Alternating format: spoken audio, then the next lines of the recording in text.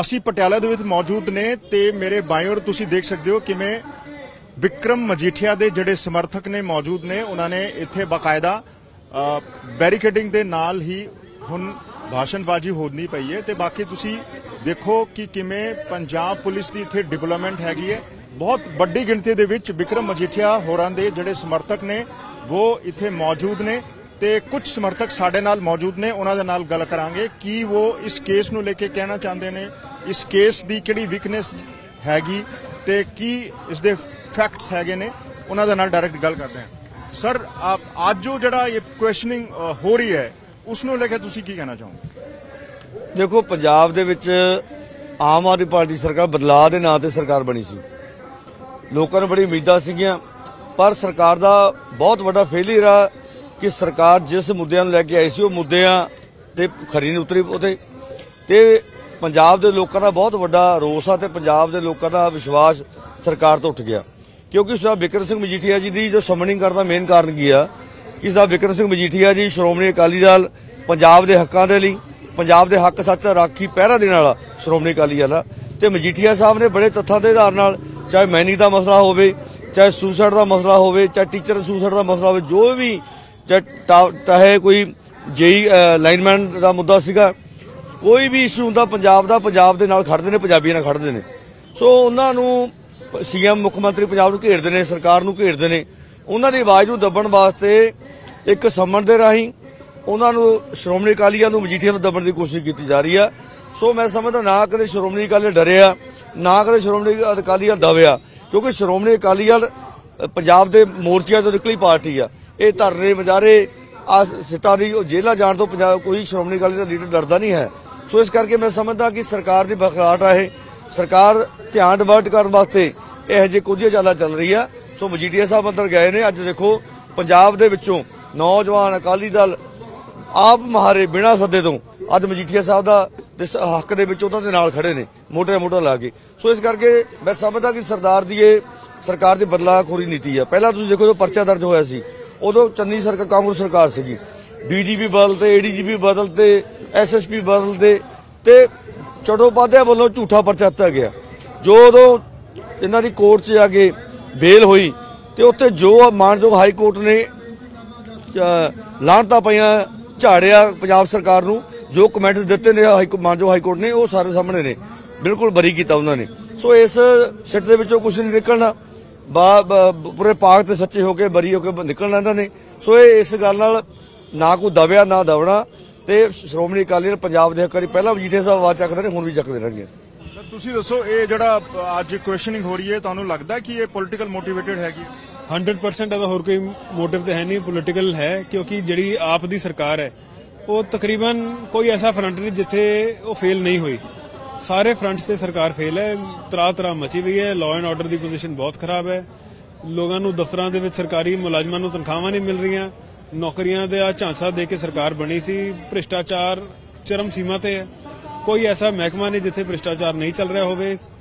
ਜਿਹੜੇ ਸਰਕਾਰ ਦੇ ਮੁਖੀ ਹੈ ਸ਼੍ਰੀ ਭਗਵੰਤ ਮਾਨ ਜੀ, ਉਹਦਾ ਭਗਵੰਤ ਮਾਨ ਤਾਂ ਉਹਨੂੰ ਕਹਿਣਾ ਗਲਤ ਹੈ, ਲੇਕਿਨ ਝੂਠ ਬੋਲਣ ਦੀ ਮਸ਼ੀਨ ਜੇ ਉਹਨੂੰ ਕਹਿ ਦਈਏ, ਤਾਂ ਉਹ ਐਸੀ ਮਸ਼ੀਨ ਹੈ ਜਿਹੜੀ ਚੁੱਪ ਹੀ ਨਹੀਂ ਹੁੰਦੀ। ਝੂਠ ਹੀ ਬੋਲੀ ਜਾਂਦੇ। ਹਰ ਗੱਲ ਤੇ ਲੋਕਾਂ ਨੂੰ ਗੁੰਮਰਾਹ ਕੀਤਾ ਜਾ ਰਿਹਾ ਹੈ ਪੰਜਾਬੀਆਂ ਨੂੰ ਗੁੰਮਰਾਹ ਕੀਤਾ ਜਾ ਰਿਹਾ। ਕੇਜਰੀਵਾਲ ਸਾਹਿਬ ਜੋ ਦਿੱਲੀੋਂ ਆਰਡਰ ਕਰ ਦਿੰਦੇ ਹੈ, ਉਹ ਇੱਥੇ ਇੰਪਲੀਮੈਂਟ ਹੋ ਜਾਂਦਾ ਹੈ। ਕੋਈ ਪੰਜਾਬ ਦਾ ਜੋ ਲੋਕਲ ਇਥੋਂ ਦੀ ਈਥੋਸ ਹੈ ਪੰਜਾਬ ਦੀ ਨਬਜ਼ ਨੂੰ ਇਹ ਸਰਕਾਰ ਸਮਝ ਹੀ ਨਹੀਂ ਸਕੀ ਤੇ ਬੁਰੀ ਤਰ੍ਹਾਂ ਸਰਕਾਰੇ ਫੇਲ ਹੋਈ ਹੈ। ਇਸ ਕਰਕੇ ਸਾਰਾ ਕੁਝ ਇਹ ਡਰਾਮਾ ਜਿਹੜੀ ਸਰਕਾਰ ਰਚ ਰਹੀ ਹੈ ਕਿ ਜਿਹੜੇ ਲੋਕ ਬੋਲਦੇ ਹੈ, ਜਿਹੜੇ ਪੰਥ ਦੀ, ਪੰਜਾਬ ਦੀ, ਪੰਜਾਬੀਅਤ ਦੀ ਗੱਲ ਕਰਦੇ ਆ ਆਪਸੀ ਭਾਈਚਾਰਕ ਸਾਂਝ ਦੀ ਗੱਲ ਕਰਦੇ ਆ ਉਹਨਾਂ ਦੀ ਗੱਲ ਨੂੰ ਦਬਾਇਆ ਜਾਵੇ ਤਾਂ ਜੋ ਝੂਠੀ ਸਰਕਾਰ ਅੱਗੇ ਉੱਪਰ ਆ ਸਕੇ, ਲੇਕਿਨ ਇਹ ਕੰਮ ਹੋਣ ਹੋਣ ਵਾਲਾ ਨਹੀਂ ਹੈ। ਸੋ ਤੁਸੀਂ ਕੀ ਸਮਝਦੇ ਹੋ ਕਿ ਬੇਲ ਹਾਈ ਕੋਰਟ ਦੇ ਵੱਲੋਂ ਦੇ ਦਿੱਤੀ ਗਈ ਹੈ ਤੇ ਕੁਐਸਚਨਿੰਗ ਵੀ ਉਹਨਾਂ ਦੀ ਹੋ ਗਈ ਹੈ? ਦੂਜੀ ਵਾਰੀ ਜਿਹੜੀ ਉਹਨਾਂ ਦੀ ਕੁਐਸਚਨਿੰਗ ਹੋ ਰਹੀ ਹੈ ਉਸ ਨੂੰ ਲੈ ਕੇ ਕੀ ਤੁਸੀਂ ਕੀ ਫੀਲ ਕਰਦੇ ਹੋ? ਦੇਖੋ ਇਹ ਸਾਰਾ ਸਰਕਾਰ ਦਾ ਪ੍ਰੋਪੋਗੰਡਾ ਬਣਾਇਆ ਹੋਇਆ ਹੈ। ਇਹਨਾਂ ਨੇ ਕਰਨਾ ਇਹ ਜੋ ਨਿਕਲਣਾ ਕੱਖ ਨਹੀਂ ਕਿਉਂਕਿ ਸਾਨੂੰ ਨਹੀਂ ਆਪਾਂ ਨੂੰ ਪਤਾ ਹੈ ਜੋ ਮੇਕਰਮਜੀਤ ਸਿੰਘ ਮਜੀਠੀਆ ਜੀ ਨੇ ਜੋ ਉਹਨਾਂ ਨੇ ਪੰਜਾਬ ਦੀ ਧੀ ਨਾਲ ਧੱਕਾ ਕਰ ਰਿਹਾ ਸੀਗਾ ਉਹ ਜੋ ਭਗਵੰਤ ਮਾਨ ਥੋੜਾ ਜਿਹਾ ਡਿਟੇਲ ਦੇ ਦਿਓ ਪੰਜਾਬ ਦੀ ਧੀ ਨੂੰ ਲੈ ਕੇ ਤੁਸੀਂ ਕੀ ਕਹਿਣਾ ਚਾਹੁੰਦੇ ਹੋ? ਧੀ ਨੂੰ ਲੈ ਕੇ ਇਹੀ ਕਹਿਣਾ ਚਾਹੁੰਦੇ ਆ ਕਿਉਂਕਿ ਭਗਵੰਤ ਮਾਨ ਤੋਂ ਜਿਹੜੀ ਉਹਦੀ ਸਖੀ ਧੀ ਹੈ ਜੀ ਉਹ ਆਸ ਦੀ ਉਮੀਦ ਰੱਖਦੀ ਸੀ। ਕਿ ਉਹ ਸਾਨੂੰ ਇਨਸਾਫ ਦੇਊਗਾ, ਪਰ ਉਹਨੇ ਆਪਣੇ ਘਰ 'ਚ ਤਾਂ ਕੀ ਇਨਸਾਫ ਦੇਣਾ ਬਾਹਰਲੀਆਂ ਧੀਆਂ ਨੂੰ ਤਾਂ ਕੀ ਇਨਸਾਫ ਦੇਣਾ? ਉਹਨੂੰ ਘਰ ਦੀ ਧੀ ਨੂੰ ਇਨਸਾਫ ਨਹੀਂ ਦਿੱਤਾ। ਸੋ ਇਸ ਕਰਕੇ ਉਹਨਾਂ ਨੇ ਬਿਕਰਮਜੀਤ ਸਿੰਘ ਮਜੀਠੀਆ ਜੀ ਨੇ ਵੱਡਾ ਦਿਲ ਦਿਖਾ ਕੇ ਉਹਨਾਂ ਨੂੰ ਕਿਹਾ ਵੀ ਜੇ ਇਹਨਾਂ ਤੋਂ ਨਹੀਂ ਇਹਨਾਂ ਦੀ ਪਰਵਰਿਸ਼ ਹੁੰਦੀ ਤਾਂ ਅਸੀਂ ਉਹ ਕਰਨ ਲਈ ਤਿਆਰ ਨੇ। ਤੇ ਇਹ ਭਗਵੰਤ ਮਾਨ ਨੂੰ ਇਹ ਗੱਲ ਹਜਮ ਨਹੀਂ ਆਈ ਹੈਗੀ। ਉਹਨਾਂ ਨੇ ਕੀ ਕੀਤਾ? ਇਹਨਾਂ ਸੰਮਣਿੰਗ ਦੁਆਰਾ ਇਹਨਾਂ ਨੂੰ ਡਰਾਉਣਾ ਚਾਹੁੰਦੇ ਨੇ ਵੀ ਸਾਡੇ ਖਿਲਾਫ ਨਾ ਬੋਲਣ। ਇਸੇ ਕਰਕੇ ਕਦੇ ਐਵੇਂ ਪੁਲਿਸ ਤੋਂ ਕਦੇ ਪ੍ਰਸ਼ਾਸਨ ਤੋਂ ਪ੍ਰੈਸ਼ਰ ਪਾ ਕੇ ਉਹਨਾਂ ਨੂੰ ਉਹਦੀ ਬਾਜ਼ ਬੰਦ ਕਰਨਾ ਚਾਹੁੰਦੇ ਨੇ ਪਰ ਅਕਾਲੀ ਦਲ ਇਹ ਇਹ ਨਾ ਕਿਤੇ ਦਬਿਆ ਤੇ ਨਾ ਹੀ ਦਬਣਾ ਹੈ। ਇਹਨਾਂ ਨੇ ਪੰਜਾਬ ਦੇ ਮੁੱਦਿਆਂ ਦੀ ਤੇ ਪੰਜਾਬ ਦੇ ਪਾਣੀਆਂ ਦੀ ਪੰਜਾਬ ਦੇ ਹੱਕਾਂ ਦੀ ਗੱਲ ਕਰਦੇ ਨੇ। ਸਰ ਤੁਸੀਂ ਕੀ ਸਮਝਦੇ ਹੋ ਇਹ ਮਜੀਠੀਆ ਵਿਕਰਮ ਮਜੀਠੀਆ ਦੀ ਜਿਹੜੀ ਕੁਐਸਚਨਿੰਗ ਹੋ ਰਹੀ ਹੈ ਅ, ਅੱਜ ਤੁਸੀਂ ਇੱਥੇ ਇਕੱਠੇ ਹੋਏ ਹੋ ਕੀ ਕਹਿਣਾ ਚਾਹੋਗੇ? ਪੋਲੀਟੀਕਲ ਮੋਟੀਵੇਟ ਲੱਗ ਰਹੀ ਤੁਹਾਨੂੰ? ਇਧਰ ਕਰ ਪੋਲੀਟੀਕਲੀ ਮੋਟੀਵੇਟਡ ਲੱਗਦੀ ਹੈ ਤੁਹਾਨੂੰ? ਤੁਸੀਂ ਕੀ ਮਹਿਸੂਸ ਕਰਦੇ ਹੋ? ਬਿਲਕੁਲ ਲੱਗਦੀ ਹੈ ਜੀ। ਤੁਸੀਂ ਤੁਸੀਂ ਕਿਹੜੀ ਥਾਂ ਤੇ ਆਏ ਹੋ? ਅਸੀਂ ਅੱਜ ਬਿਕਰਮ ਜੀਠੀਆ ਜੀ ਦੇ ਹੱਕ 'ਚ ਆਏ ਆ ਉਹਨਾਂ ਨਾਲ ਨਜਾਇਜ਼ ਧੱਕਾ ਹੋ ਰਿਹਾ ਇਹ। ਧੱਕੇ ਨਾਲ ਉਹਨਾਂ ਨਾਲ ਸੰਮਣ ਭੇਜੇ ਗਏ ਨੇ ਉਹਨਾਂ ਨੂੰ। ਇਸ ਕਰਕੇ ਅਸੀਂ ਉਹਨਾਂ ਦੇ ਹੱਕ 'ਚ ਆਏ ਆ ਤੁਸੀਂ ਆਪਣਾ ਨਾਮ ਦੱਸੋ ਔਰ ਕਿਹੜੀ ਜਗ੍ਹਾ ਤੇ ਤੁਸੀਂ ਆਏ ਹੋ ਸਰ? ਅੱਜ ਤੇ ਜਿਹੜਾ ਤੁਹਾਡਾ ਇਕੱਠ ਹੈ ਤੁਸੀਂ ਜਿਹੜਾ ਸ਼ੋਅ ਆਫ ਸਟਰੈਂਥ ਇੱਥੇ ਅਕਾਲੀ ਦਲ ਦੇ ਵੱਲੋਂ ਕੀਤਾ ਜਾ ਰਿਹਾ ਉਸ ਨੂੰ ਲੈ ਕੇ ਕੀ ਕਹਿਣਾ ਚਾਹੋਗੇ? ਬਾਈ ਜੀ, ਮੈਂ ਗੁਰਤੇਜ ਸਿੰਘ ਕੌਲ ਕੌਮੀ ਜਨਰਲ ਸਕੱਤਰ ਯੂਥ ਅਕਾਲੀ ਦਲ। ਔਰੰਗਜ਼ੇਬ ਦੇ ਸਮੇਂ ਨਾ ਸਾਜ਼ਾਂ ਤੇ ਮਨਾਈ ਕਰਤੀ ਵੀ ਸੰਗੀਤ ਨਹੀਂ ਕਰਨਾ। ਉੱਥੇ ਫਿਰ ਜਿਹੜੇ ਉੱਥੇ ਸੰਗੀਤ ਨੂੰ ਪਿਆਰ ਕਰਦੇ ਸੀ, ਇੱਕ ਉਹਨਾਂ ਨੇ ਜਨਾਜ਼ਾ ਕੱਢਿਆ। ਔਰੰਗਜ਼ੇਬ ਕਹਿੰਦਾ ਵੀ ਇਹ ਕੀ ਜਾ ਰਿਹਾ ਮੇਰੇ ਮਹਿਲਾਂ ਦੇ ਬਾਹਰ ਕੀ ਜਾ ਰਿਹਾ? ਕਹਿੰਦੇ ਜਨਾਜ਼ਾ ਜਾ ਰਿਹਾ ਜਨਾਜ਼ੇ ਦੇ ਵਿੱਚ ਕੀ ਸੀਗੇ? ਜਿਹੜੇ ਉਹਨਾਂ ਦੇ ਸਾਜ਼ ਸੀਗੇ। ਉਹ ਕਹਿੰਦਾ ਅਸੀਂ ਨੱਪਣ ਜਾ ਰਹੇ ਹਾਂ। ਉਹ ਕਹਿੰਦਾ ਚੰਗੀ ਤਰ੍ਹਾਂ ਨੱਪਿਓ ਵੀ ਮੁੜ ਕੇ ਆਵਾਜ਼ ਨਾ ਆਵੇ। ਸੋ ਨਿਆਂਪਾਲਿਕਾ ਇੱਕ ਇੱਥੇ ਅਫਸਰ ਰਿਟਾਇਰ ਹੋਣ ਜਾ ਰਿਹਾ ਹੈ, ਉਹਨੂੰ ਐ ਆ ਵੀ ਮੈਨੂੰ ਕੋਈ ਚੇਅਰਮੈਨ ਨਹੀਂ ਮਿਲ ਜੂਗੀ। ਉਹਨੂੰ ਕਹੋ ਵੀ ਠੋਕ ਕੇ ਪਰਚਾ ਨਹੀਂ ਠੋਕ। ਕੇ ਇਹ ਪਰਚੇ ਪੁਰਚੇ ਨਾ ਪਰਚੀਆਂ ਬਣ ਜਾਂਦੀਆਂ ਹੁੰਦੀਆਂ ਨੇ ਜਦੋਂ ਸਰਕਾਰਾਂ ਬਦਲਦੀਆਂ ਹੁੰਦੀਆਂ ਨੇ। ਉਹੀ ਭਗਵੰਤ ਮਾਨ ਹੈ ਜਿਹੜਾ ਕਹਿੰਦਾ ਸੀਗਾ ਵੀ ਤੁਹਾਨੂੰ ਸਿਕਿਉਰਿਟੀ ਦੀ ਕੀ ਲੋੜ ਹੈ? ਜੇ ਇੰਨੀ ਸਿਕਿਉਰਿਟੀ ਲੈਣੀ ਹੈ ਤਾਂ ਮੁਰਗੀਖਾਨਾ ਖੋਲ ਲਓ। ਅੱਜ ਉਹਦੀ ਭੈਣ ਕੋਲ ਉਹਦੀ ਘਰ ਵਾਲੀ ਕੋਲ, ਅੱਜ ਉਹਦੀ ਮਾਂ ਕੋਲ। ਕਿਉਂ ਅਸੀਂ ਗਲਤ ਪ੍ਰਚਾਰ ਤਾਂ ਨਹੀਂ ਕਰ ਰਹੇ? ਤੁਹਾਨੂੰ ਮੀਡੀਆ ਵਾਲੇ ਨੂੰ ਪਤਾ, ਤੁਹਾਡੇ ਮੀਡੀਆ ਵੀ ਦਿਖ ਰਿਹਾ ਸਾਡੇ ਕੋਲ ਵੀਡੀਓ ਨੇ। ਕਿੰਨਾ ਕਿੰਨਾ ਅਮਲਾ ਲਾਇਆ ਹੋਇਆ ਕਿੰਨੇ ਹਜ਼ਾਰ ਕਰੋੜ ਰੁਪਇਆ ਕਰਜ਼ਾ ਚੱਕ ਲਿਆ। ਕੀ ਲੋੜ ਆ ਵੀ? ਮੈਨੂੰ ਦੱਸੋ, ਇੰਨੀ ਸਿਕਿਉਰਿਟੀ ਦੀ ਕੀ ਲੋੜ ਹੈ ਕਿਹਦੇ ਤੋਂ ਖਤਰਾ ਹੈ ਭਗਵੰਤ ਸਿੰਘ ਮਾਨ, ਜੇ ਤੇਰੇ ਚ ਹਿੰਮਤ ਹੈ, ਕੱਲਾ ਆ ਜਾ ਪਟਿਆਲੇ ਤੱਕ। ਫਿਰ ਤੈਨੂੰ ਪਤਾ ਲੱਗ ਜੂ ਜਿਹੜਾ ਤੂੰ ਕਹਿੰਦਾ ਹੁੰਦਾ ਸੀ, ਡਲਾ ਤੋਂ ਡਲਾ ਹੁੰਦਾ ਹੈ। ਡਲਾ ਹੁਣ ਪੈਂਦਾ ਕਿਨੂੰ ਹੈ? ਫਿਰ ਤੈਨੂੰ ਪਤਾ ਲੱਗ ਜੂ, ਸੋ ਕਹਿਣੀ ਤੇ ਕਰਨੀ ਦੀ ਸਿਰਫ ਸ਼੍ਰੋਮਣੀ ਅਕਾਲੀ ਦਲ ਤੇ ਉਹਨਾਂ ਦੇ ਪ੍ਰਧਾਨ ਸਰਦਾਰ ਸੁਖਬੀਰ ਸਿੰਘ ਬਾਦਲ, ਜੋ ਉਹਨਾਂ ਨੇ ਕਿਹਾ, ਜੇ ਪਾਣੀ ਵਾਲੀਆਂ ਬੱਸਾਂ ਗਈਆਂ, ਤਾਂ ਪਾਣੀ ਵਾਲੀਆਂ ਬੱਸ ਚਲਾਈ, ਪਰ ਉਹ ਸਾਡਾ ਪ੍ਰਚਾਰ ਗਲਤ ਤਰੀਕੇ ਨਾਲ ਕੀਤਾ ਗਿਆ। ਜੇ ਅਸੀਂ ਕਿਹਾ ਵੀ ਸੜਕਾਂ ਤੇ ਚਾਹੇ ਬੰਬ ਸਿੱਟ ਦੋ, ਸਾਡੇ ਕਹਿਣ ਤੋਂ ਭਾਵ ਸੀ ਚੰਡੀਗੜ੍ਹ ਤੋਂ ਬਠਿੰਡਾ, ਕਿੱਡੀ ਵਧੀਆ ਸੜਕ ਸੀਗੀ। ਹੁਣ ਵੀ ਜਿਹੜਾ ਤੁਸੀਂ ਆਨੰਦ ਮਾਣ ਰਹੇ ਹੋ 7-8 ਸਾਲ ਹੋ ਗਏ ਸਰਕਾਰ ਗਈ ਨੂੰ। ਸ਼੍ਰੋਮਣੀ ਅਕਾਲੀ ਦਲ ਦੁਆਰਾ ਬਣਾਈਆਂ ਸੜਕਾਂ ਦਾ ਆਨੰਦ ਮਾਣ ਰਹੇ ਹੋ। ਪ੍ਰਕਾਸ਼ ਸਿੰਘ ਬਾਦਲ ਨੇ ਕਿਸਾਨਾਂ ਦੇ ਟਰੈਕਟਰ ਨੂੰ ਗੱਡਾ ਬਣਾਤਾ। ਕਿਸਾਨ ਹਜੇ ਤੱਕ ਆਨੰਦ ਮਾਣ ਰਹੇ ਨੇ। ਬਿਜਲੀ ਮਾਫ ਹੋਈ, ਨਹਿਰੀ ਪਾਣੀ ਮਾਫ ਹੋਇਆ, ਜੋ ਵਿਕਾਸ ਹੋਇਆ, ਸ਼੍ਰੋਮਣੀ ਅਕਾਲੀ ਦਲ ਦੇ ਉਹਦੇ ਤੇ ਹੋਇਆ। ਹੁਣ ਸੈਕਟਰੀਏਟ ਕੀ ਹੋਇਆ ਜੀ? ਗਏ ਸੀ ਨਾ ਭਗਵੰਤ ਮਾਨ ਸਾਹਿਬ, ਉਹੀ ਮੁਲਾਜ਼ਮ ਸੀ, ਸਰਕਾਰੀ ਮੁਲਾਜ਼ਮ ਸੀ, ਕਿਸੇ ਪਾਰਟੀ ਨਾਲ ਰਿਲੇਟਡ ਤਾਂ ਨਹੀਂ ਸੀ। ਉਹੀ ਮੁਲਾਜ਼ਮ ਜਿਨ੍ਹਾਂ ਨੇ ਫੁੱਲਾਂ ਦੀ ਵਰਖਾ ਕੀਤੀ ਸੀ, ਉਹਨਾਂ ਨੇ ਮੁਰਦਾਬਾਦ ਦੇ ਨਾਰੇ ਮਾਰੇ। ਕੁਛ ਕੁ ਮੀਡੀਆ ਨੇ ਕੈਪਚਰ ਕੀਤਾ ਹੋਇਆ। ਕੇਜਰੀ ਮੀਡੀਆ ਜਿਹਨੂੰ ਕਹਿੰਦੇ ਅਸੀਂ, ਉਹ ਕੈਪਚਰ ਕੀਤਾ ਹੋਇਆ। ਉਹਨੇ ਸਾਡੀਆਂ ਆ ਗੱਲਾਂ ਨਹੀਂ ਆ ਦੇਖੋ, ਇੱਧਰ ਨਿਗਾਹ ਮਾਰੋ। ਸ਼੍ਰੋਮਣੀ ਅਕਾਲੀ ਦਲ ਦੇ ਜੁਝਾਰੂ ਵਰਕਰ ਕਿਵੇਂ ਇਕੱਠੇ ਨੇ? ਇਹ ਲੈ ਕੇ ਜਾਂਦੇ ਨੇ ਪੇੜ ਪੇੜ ਬੰਦੇ ਲੈ ਕੇ ਰੈਲੀਆਂ ਕਰਦੇ ਨੇ। ਇਹ ਸ਼੍ਰੋਮਣੀ ਅਕਾਲੀ ਦਲ ਦਾ ਇਹ ਵਰਕਰ ਨੇ। ਮੈਂ ਇੱਕ ਗੱਲ ਹੋਰ ਜੋੜਨਾ ਚਾਹੂੰਗਾ। ਸਾਡਾ ਯੂਥ ਦਾ ਪ੍ਰਧਾਨ ਸਰਦਾਰ ਸਰਬਜੀਤ ਸਿੰਘ ਝਿੰਜਰ ਇੱਕ ਆਮ ਪਰਿਵਾਰ ਤੋਂ ਉਹਨੂੰ ਪ੍ਰਧਾਨ ਬਣਾਇਆ। ਜਦੋਂ ਮਿਲਦਾ ਨਾ, ਮਿਲ ਕੇ ਬਹਿ ਕੇ ਆਪਣੇ ਵਾਂਗੂ ਗੱਲਾਂ ਕਰਦਾ, ਤਾਂ 10 ਬੰਦੇ ਹੋਰ ਜੁੜਦੇ ਨੇ ਨਾਲ। ਇਹ ਭਗਵੰਤ ਮਾਨ, ਠੋਕ ਕੇ ਪਰਚਾ ਨਹੀਂ ਤੂੰ ਤਾਂ ਆ ਵੀ ਨਹੀਂ ਸੋਚਿਆ। ਸ਼ਹੀਦੀ ਦੇ ਦਿਨ ਚੱਲ ਰਹੇ ਨੇ।